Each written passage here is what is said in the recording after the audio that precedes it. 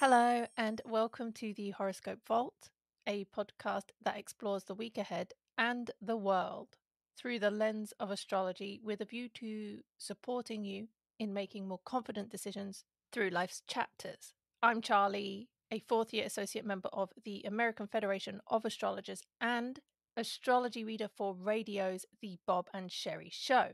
This podcast episode is all about the big, the bold, the absolutely life changing shift of Pluto into Aquarius that gave us all a peep show back in March of 2023, but starts to get way more serious this very weekend.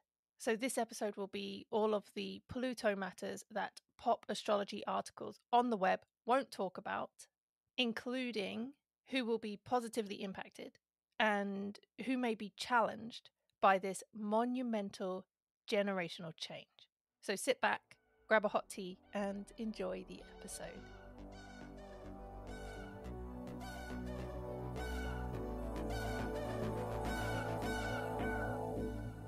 If you're tired of the old, the traditional structures, then this sign change for Pluto might make you particularly happy.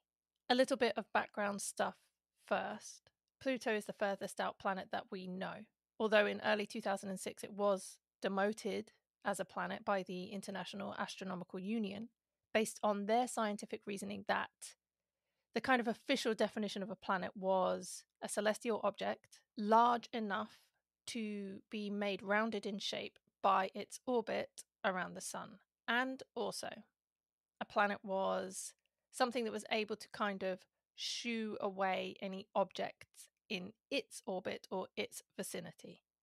Basically, if an object wasn't meant to be there, a planet was able to energetically get rid of that stuff. And it was said that prior to 2006, the term planet was just simply used for any modern discovery made in the universe. But it got made technical by these two standards. And so Pluto was then downgraded because it fit only one of those, where it was big enough to be spherical in shape, but it wasn't big enough to exert its orbital dominance and clear out all of the debris surrounding its orbit. In August 2006, so the same year of its demotion, it was then reclassified as a dwarf planet. It's smaller than the Earth's moon. And this happened because too many people were offended by the dismissive nature, where Pluto as a planet was very much part of history and tradition. Pluto's orbit is weird. It's like a disc shape. It's very zany in comparison to the more circular and orderly orbits of other planets in our solar system.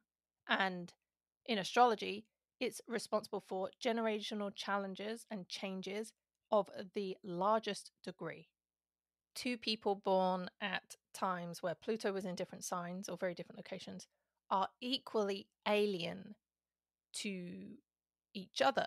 The generational gaps are emphasized by anything Pluto does. And its most recent trip through a sign began in 2008, which was when it left Sagittarius and entered Capricorn. And it finishes that trip this year, 2024.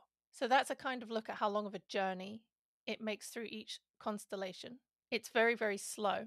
It takes 248 ish years to go around the sun, whereas Earth takes just one Earth year. So we lap it so, so many times, it would just make you dizzy thinking about it. And its discovery was in 1930. And in Roman astrology mythology, it was also called Hades, based on it being unseen and kind of absorbed into and by darkness. And even though it was commonly feared and still is quite a bit in the spiritual astrology community, it was also connected to great wealth.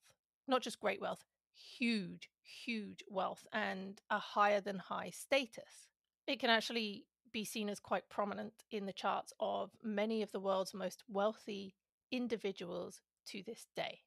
Its symbolism is linked to the sign of Scorpio in modern astrology. And the keywords and themes for this dwarf planet include things like secrets, obsession, compulsions, birth, death, and rebirth as this three point experience. It's also connected with decay, darkness, destruction, which I want to say here the destruction isn't always bad. Imagine if, you know, some of the old ways of the world had not been destroyed and made better. There's always a positive in an ending somehow, and that's what the symbolic nature of Pluto in astrology wants you to see. This dwarf planet is seen as a source of revelation, a connection to higher realities. And though it's seen as negative because it's correlated with a destructive dynamic of life, it's about usefulness within dissatisfaction. It's meant to motivate you out of sitting in your sadness. It's that aggressive and ambitious nature that spurs you into improvement. And yes, its lessons often come through pitfalls and sometimes tragedy, but its offerings are to do with fresh, bright, and new beginnings. Pluto can also mean things like endings, abuse, shadows, empowerment, evolution. It's considered the higher octave of Mars, so it's also a bit aggressive in a sly way. And it's also sexual, psychological, and very, very demanding. It points to areas of toxicity, and that's literal toxins and poisons as much as it is, you know, energetic toxic experiences. It rules the genitals. It's about jealousy too. So if you couldn't already tell based on that collection of keywords, the influence of Pluto in every way is both intense and completely life altering. Anytime there's a Pluto aspect or sign change, it demands that you go deeper into something and become more comfortable exploring the truth. And so it moves into Aquarius on January the 20th after 16 years in Capricorn. And with Capricorn energy and symbolism, meaning things like tradition and structure, there were changes in government, there were changes in what it means to work hard and to work long term. All of that was very necessary. And as mentioned in the most recent regular weekly horoscope show on January the 14th, Pluto leaving Capricorn indicates the end of hustle culture as it was. Rightly so, because the way of working in this world professionally, it just isn't the same anymore. It's not as easy to just put in the hours and work hard because you'll work and work and work and work and then one Pluto cycle later, so a decade or more, you'll still be treading water. And yes, structured focus may have provided results from 2008 to around 2020. But after that time, when Pluto and Capricorn's ruler Saturn made the Great Conjunction, the ability to work hard and experience the results was completely annihilated. It's been used, rinsed, and repeated in every way possible just to, air quotes, put in the effort and get the results. And even now, what it means to be successful is beginning to look very different. And while Pluto was moving through Capricorn, it was in opposition to Cancer. Not only does this mean that it was pretty intense for any one of those two signs, it impacted the mundane world matters of those signs as well. And Capricorn is real estate, corporations, and the government. Cancer is family, agriculture, dietary guidelines, and water. So, by that kind of algorithm, between 2008 and 2024, Pluto's Capricorn transit really did do a number on real estate, corporations, government, the tradition of family, agriculture, diet, and water. In true Pluto fashion, those things may have experienced death and rebirth. They may have come with some toxicity, some lies, secrets, or power play. And the point of Pluto transit Capricorn was to emphasize the power in taking things slow. This gets emphasized the most at the start and the end of the transit. So 2008 would have been a forced deceleration. And then again, at the end of 2023 and beginning of 2024, economically or personally, something cropped up forcing you to take it slow. So, what about now? As it moves into Aquarius, obviously, generational gaps are still going to exist and they'll possibly get even bigger. And there are those who will still swear by the tried and trusted methods of working your way up the ladder.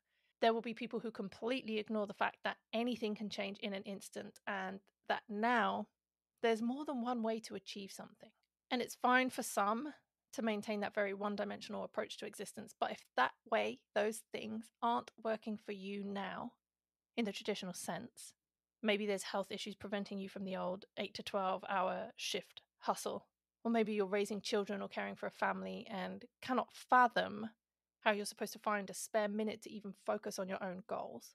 Maybe the monumental issues that rocked the entire world back in 2020 are still having some kind of impact on your everyday life and relationships, which was something completely out of your hands that went and rearranged the orderly fashion that everyone was approaching life with.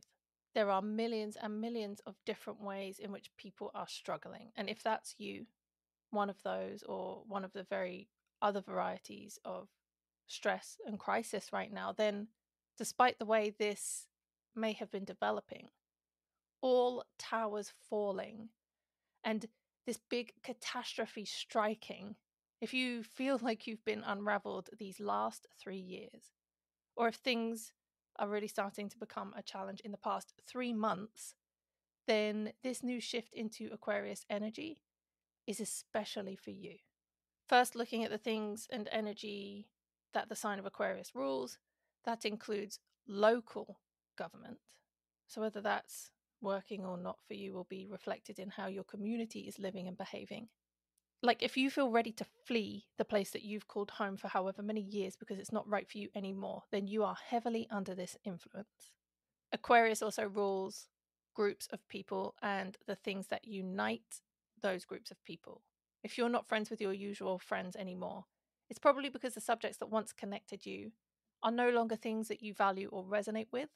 The bonds that once held you together are either now revealed as superficial or just somehow generally incorrect. There are more important values in your life now, and finding people who share those is much more important than trying to save relationships and connections because of simply how long you've known somebody. Other Aquarius matters include humanitarianism, open mindedness, electricity. Electricity is my favorite one because a positive rise and development of electroculture in growing food and just agricultural areas is likely to revolutionize all of the things that Pluto just messed up in the form of food production during its Capricorn transit. It ruins all those things, and when it passes and it's gone, you are forced to rebuild them, whether it's personal or global, environmental, big scale. The crumblings of the mm. housing market, the crumblings of diet culture, the crumblings of hustle culture, the crumblings of water production, toxic family traditions, all of that needs to be completely rethought with the optimism and benefits of Pluto's messages now through Aquarius. Aquarius energy is also gadgets and tech. It's all about social energy and socialism, and diving back into history to look at this, remembering that this dwarf planet takes 248 years to make a full rotation.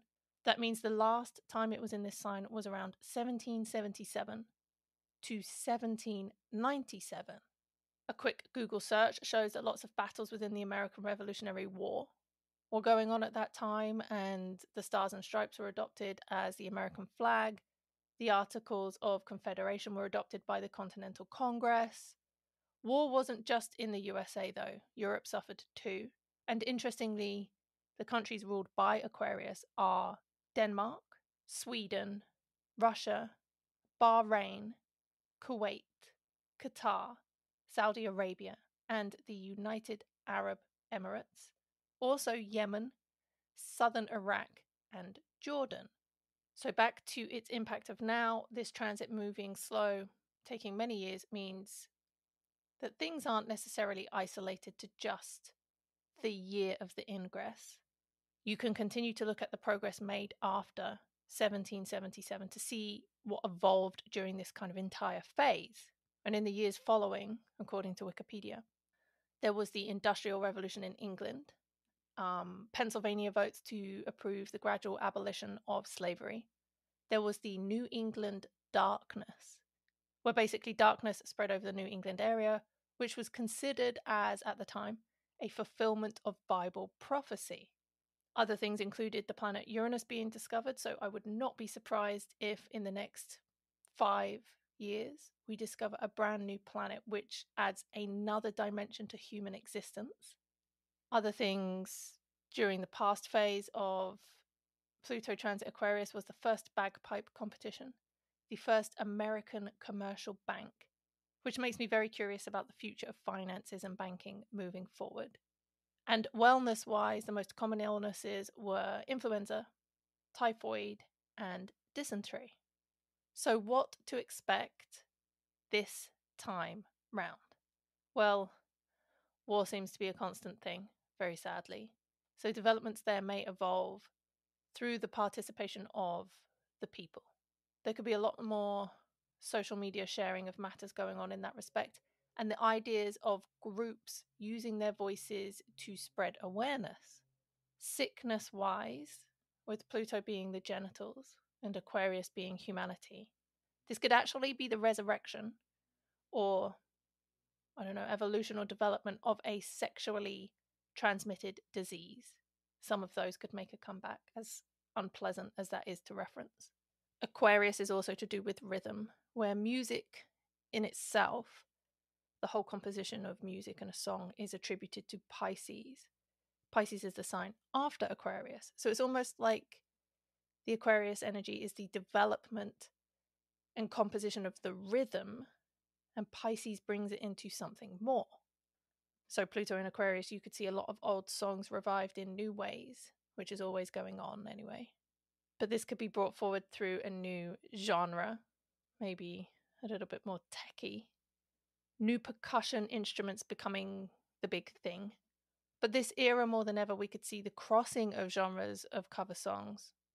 On a personal level, you could get into music that's unique and new for you, or music that you used to listen to, but you kind of fizzled out and started listening to something different. And whether you go from hip hop to opera or opera to country or whatever way it is, your music tastes may develop a little more differently circling back to the humanitarian and group relationships, which are a big, big thing. This could be international relationships, and quite obviously, those are all over the effing place right now. But this is also the influence of groups and people on you and your future. And a worthwhile Netflix watch if you have got the time and possibility. Check out a documentary called Live to 100 Secrets of Blue Zones. On this show, they talk about all the components that go into living a long, healthy life. And one of those that they mention is a good support network. And one of the big, big things of this particular transit is the importance of cutting people off and cutting them off seriously hard. You may have some regular, kind of natural usual friend cut-offs. You may have some family cut-offs as well, as we leave a phase that kind of teaches us the tradition isn't necessarily all it appears to be. There's an old saying that was drummed into me as a kid, but never in its full entirety. Blood is thicker than water. And that's actually heavily paraphrased. As an adult, I discovered the full saying is blood of the covenant is thicker than the water of the womb family these days isn't about sharing genetics anymore. What good is that if it's used in a dominating or hierarchy fashion? I know someone who has a parent that says, the egg doesn't teach the chicken. And if you about spat out your drink or snorted in disbelief at that, I did too when it was shared to me. And I wish I was there if only the person could have responded with, well, you can't teach an old dog new tricks.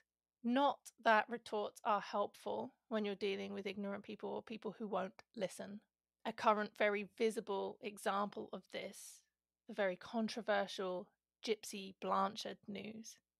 The acts that she took, the route she took, was obviously very, very extreme, ridiculously so. And I hate to say, I think we, we will see a lot more rebellion within family units where adults want to speak out about the things that happened to them and why they are struggling in certain spaces of life based on conditioning that's very, very difficult for you to let go of because you were told blood is thicker than water or that family is all that you have. How we connect is going to look entirely different.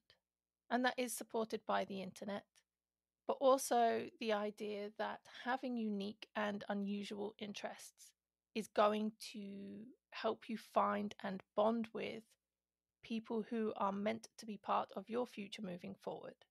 So don't feel guilty about building walls between you and people that you have very little in common with, people who you don't authentically connect with.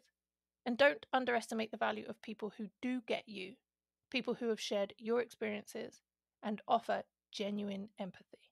Speaking on authenticity, this transit could also start blowing things even more wide open in social media, in news and information and radio, the airwaves, and marketing.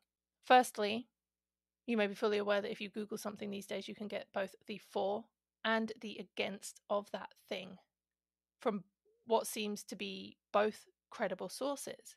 And if you're trying to research things, it's like you get two sets of contradicting information, often leaving you wondering which one is correct. For example, looking at something personal to me, I was researching the autoimmune protocol diet, and you get info that says yes to nightshade foods like tomatoes, and you get info that says no to nightshade foods like tomatoes. So they cancel each other out. And if you have had this dualistic experience, you realize that suddenly, despite your efforts, you're left with zero clarity. There's a big issue with what to trust with what you read. And in a mm. similar vein, we've all known for years that a celebrity can get paid to endorse a product that they don't even use if the price is handsome enough. Well, that behavior has trickled down into the real people world. Reviews may be blown wide open during this transit, where things like user generated content is identified as it is simply paid reviews to sell a product. If you take a simple look or search on a freelancer website, you'll see that they pay on average 20 to $25 for a person, any person, to review a service like an app or a product, whether they've used it or not. And with so many people looking for at home work opportunities, filming a quick three minute video saying, such and such product is amazing, I love it, with viewers thinking that this is a genuine review, it's actually just people making a quick and easy buck without much care to the impact or the validity. Information going haywire is a definite checkpoint. An end to the fanatical extremist information channels where bias is called out for what it is. There may actually be a massive jump in popularity towards individualized channels.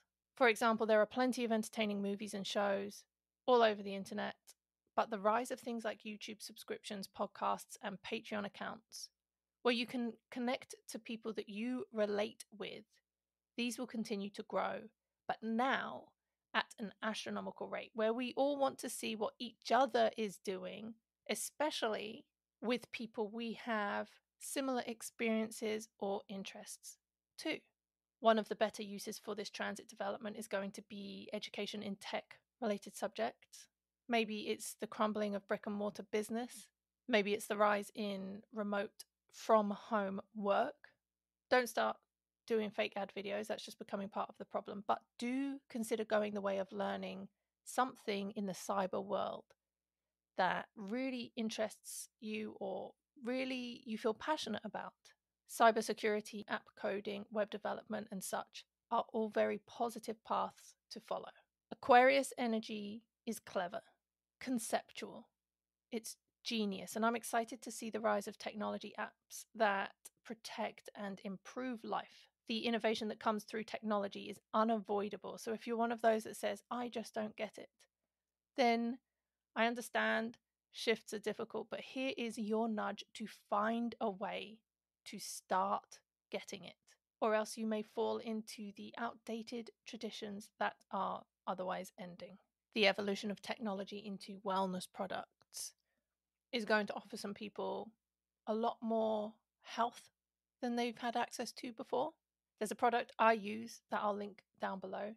It's called Vivoo, and these are sticks that you pee on, and they tell you about your hydration levels. And I've had chronic issues with low sodium that result in passing out. It's not something I really want to repeat, but these jumps and the this progress we're making where I don't have to travel to the emergency room to get my blood taken to see where my sodium levels are at. I can do this at home in 3 minutes and make the corrections there has helped me immensely. On the same kind of note, we're going to see leaps and bounds in electricity, in light inventions, electronics, telephones, televisions, maybe something like solar charged cell phones. You're most likely already aware that AI is developing at a breakneck speed. And so long as it's used correctly, that could actually be revolutionary. The demise and the crumbling of air travel is a high possibility too. And already we're having less and less faith in air travel because of a few, let's call them mishaps. There may be more use of air transport within the world of war. Current battles may evolve to be played out within the sky a little bit more. My personal favorite part of this transit is that for a while there may be laws and some kind of condemnation around astrology. Astrology is quite an Aquarius subject matter, and it's been growing in popularity where there are those channels that share the sweet, sweet positive astrology insights. And then there are some mm-hmm. channels that get right to the gritty predictive stuff. And it's those channels that could come under attack. So when it comes to your personal impact of Pluto in Aquarius, this 20 year transit, it will benefit some and it will challenge others. It will benefit you if you can master the art of detachment and cutting people off, the people who hurt you or the people who are toxic. It's not a wait around and save space kind of time anymore. It's time to block them out. This transit will benefit you if you want to find your true tribe and feel part of a like minded community. It will benefit you if you have a charitable heart and nature it will benefit real people with real experiences becoming celebrities. And it will bring overinflated celebrities back down to earth. It will benefit those who have committed to mastering individuality instead of conformity, so embracing your true authentic self with all the weird quirks. It will benefit those who haven't bought into beauty standards, appreciating everything in its own unique gorgeousness. It will benefit the unconventional, the unique, and the black sheep or the outcasts. And of course, for everything and everyone, it benefits for the people who are evolving and opening their minds. It will also bring down the wrongdoers too. So, who could possibly be taught a lesson by this transit? Racist and oppressive people. Any kind of discrimination will not stand under this 20 year development. It won't be easy, but activism towards ending divisive behavior could really ramp up. It will be a problem for people who judge unfairly or incorrectly, biased judgments, and critical individuals where these condemnations come from a place of meanness that will eventually be handled by karma. Anything or anyone that suppresses anything or anyone just living their life, could feel the wrath of this new era. And yes, Aquarius energy will always be the strong push for reform of all kinds of social structures. Strange and intensely dramatic events will still occur, even more so than they seem to have already. So, this is your nudge to follow your favorite astrologers, spiritualists, tarot readers, and unfollow the celebrities peddling random things for a check. Tune into the real lives of people who have experiences that they share that you relate to, thanks to the growth of the internet. And tune out of contradicting information that's just really another form of marketing to push sales or an agenda. Get ready for a huge purge and renewal cycle that's been about eight years in the making and decades overdue. If you're an Aries, purge people who are not your people. They'll be a lot more obvious to you now. If you are Taurus, get rid of goals that were never truly aligned with your authenticity and hold out for the unique and unusual things that light you up in your core. Gemini, explore further than your current fishbowl. Cancer, work through the emotional and physical baggage that has been holding you back because you've been holding hope for a traditional happy ending. Leo, toxic partners need to go. Virgo, unhealthy habits have to stop. Libra, be weirder than you've ever been and identify as your unique self. Scorpio, restructure your home and living situations before they are forcefully changed around you. Sagittarius, change your mind, change what it focuses on, build it into a machine that, whenever you use it, it spits out something powerfully amazing and useful. Capricorn, start your legacy. Aquarius, start your self development. And Pisces, start your healing. But most of all, to all signs, let the change begin. And don't fight it, because what's next is certainly better than any current epic mess that needs cleaning. Let the universe do it for you, it's better at it than you are, and just enjoy being a passenger along the way. That's it for this episode. I know this won't be the last mention of Pluto in Aquarius transit because it retrogrades again this year, meaning whatever you touched base with over the last couple months from around October till now will come back again just to be sure that you learnt what you needed to learn. If you know you're not going to remember that, then follow the show for all the future updates and the regular weekly horoscopes on Sunday and Mondays. Follow the Patreon for some of the more unique astrology insights like this. And until the next episode, bye.